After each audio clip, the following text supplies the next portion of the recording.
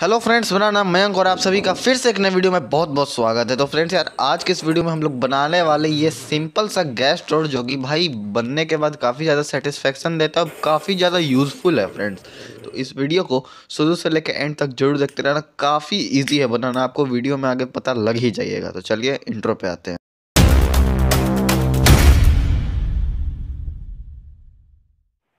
तो फ्रेंड्स यार, ये गैस टॉर्च को बनाना इतना सिंपल और इतना आसान है कि आप लोग देखने के बाद बोलिएगा कि विश्वास नहीं होता। तो यहाँ पर सबसे पहले फ्रेंड्स मैंने ग्लास का बॉटल ले लिया है। लोग बोलेंगे ग्लास का बॉटल क्यों?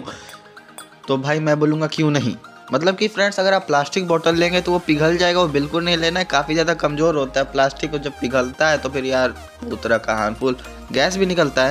इसलिए यहाँ पे मैं ग्लास बॉटल यूज़ कर रहा हूँ, क्योंकि भाई इसमें ज़्यादा से ज़्यादा भाई टेम्परेचर ये सह लेता है टॉलरेट कर लेता है। ग्लास का बॉटल ले रहा हूँ, ये कोई पुराना दवाई का बॉटल फेंका हुआ था तो मैं उठा लिया।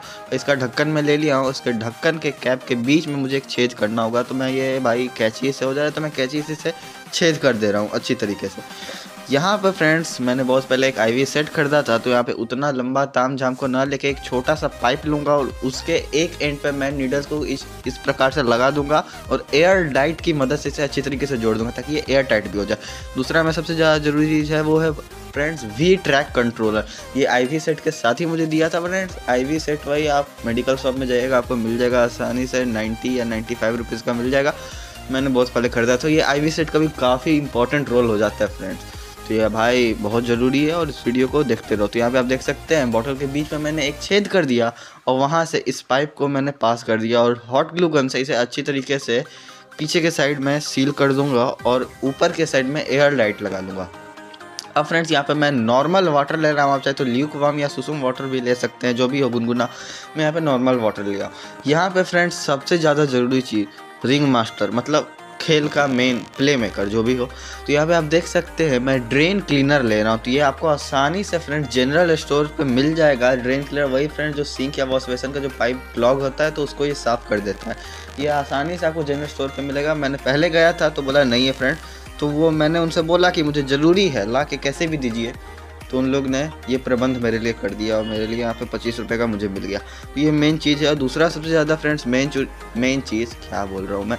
मेन चीज़ यहाँ पे एलमिनियम फॉयल ये फ्रेंड्स काफ़ी पुराना फॉयल है, यहाँ पे आपका नज़र देख ही सकते हैं, चूहा या मूषक महाराज ने क्या यहाँ पे हाल कर दिया है। साइड से काट दिया है तो खैर उससे उतना फ़र्क नहीं पड़ता, यहाँ हमें यहाँ पे कुछ एलमिनियम फॉयल का रोल बना लेना कुछ इस प्रकार से। और फ्रेंड्स, यकीन मानिए, दिखने में कम लग रहा है, लेकिन ये काफ़ी ज़्यादा मोटा है और इसके अंदर बहुत ज़्यादा एलमिनियम भरा हुआ है। तो यहाँ पर मैं फटाफट से दो चम्मच ये ड्रेन क्लीनर को यूज़ कर रहा हूँ। दो चम्मच या डो ढक्कन डो कैप जितना बोल सकते हैं। मैं यहाँ पे दो चम्मच भर भर के इतना पानी में डाल क्योंकि भाई दिखने में पानी कम लग रहा है, लेकिन ग्लास बोतल थोड़ा मोटा है, इसलिए थोड़ा ज़्यादा हमें ड्रेन क्लियर का ज़रूरत होगा।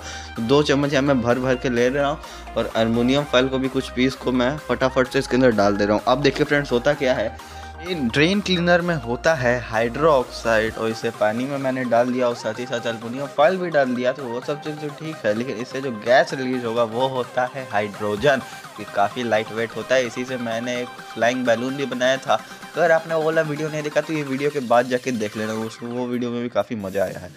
तो यहाँ पर मैं एलमिनियम फॉयल को इसके अंदर डाल के टेप की मदद से इसके कैप में, कैप के नेक और कैप के बीच में काफ़ी अच्छी तरीके से सील कर दूँ ताकि कहीं से भी हवा का लीकेज ना हो। और ऊपर से जहाँ पर मैंने आई वी सेट का वी ट्रैक कंट्रोलर लगाया तो वहाँ पर मैं एयर डाइट से सील कर दूँ ताकि भाई जो एयर डाइट को सूखने में दो तीन घंटा लगता है, धूप में मैंने रखा तो इतना हार्ड हो गया था एयर स्केप करने का ज़रूरत ही नहीं पड़ रहा था। तकरीबन फ्रेंड्स यहाँ पर पंद्रह सेकेंड भी नहीं हुआ और आप देख सकते फ्रेंड्स कितना हाई फ्लेम इसका। और अभी तो कुछ भी नहीं फ्रेंड्स आगे देखो। जितना ज़्यादा फ्लेम होगा, यानी उसके लिए उतना ही ज़्यादा प्रेशर का ज़रूरत होगा। और प्रेशर तो एक बार में बनेगा नहीं, इसलिए आप देख सकते हैं भाई साहब, सिर्फ़ 20 सेकंड में इतना हाई फ्लेम दे रहा है। तो अगर इसे खूब देर अंदर पैक करके रखा जाए, अंदर जितना ज़्यादा प्रेशर क्रिएट होगा, और जैसे यहाँ पे ये कंट्रोलर से आप हल्का सा भी इसे लूज़ करिएगा तो काफ़ी ज़्यादा फ्रेंड्स ये फ्लेम आगे फेंकेगा। मतलब काफ़ी ज़्यादा प्रेशर के साथ ये आपका टॉर्च मतलब फ्लेम निकलेगा। अब देख सकते हैं फ्रेंड्स, यहाँ पे मैंने पहले सोचा कि भाई ये इतना ज़्यादा गर्म हो रहा है, ये जो मैंने प्लास्टिक लिया, इसको पिघलाने का सोचा लिया था कि भाई, प्लास्टिक तो पिघल ही जाएगा, ऐसा तो चांस ही नहीं है नहीं पिघलने का, लेकिन यार सबसे ज़्यादा ज़रूरी चीज़ यहाँ पे, इसे आप फूक मार के बुझा ही नहीं सकते, क्योंकि भाई ये हाइड्रोजन गैस जल रहा है ना भाई। इसको बुझाने का सिर्फ़ एक तरीका है, वो कंट्रोलर को एकदम नीचे कर दो लो कर दो पैक हो जाएगा और वापस ऑन कर दो, ये ऑन हो जाएगा। इससे काफ़ी ज़्यादा फ्रेंड्स हाई प्रेशर का फ्लेम क्रिएट होता है। जितना ज़्यादा प्रेशर अंदर बनेगा, उतना ही ज़्यादा बाहर करेगा।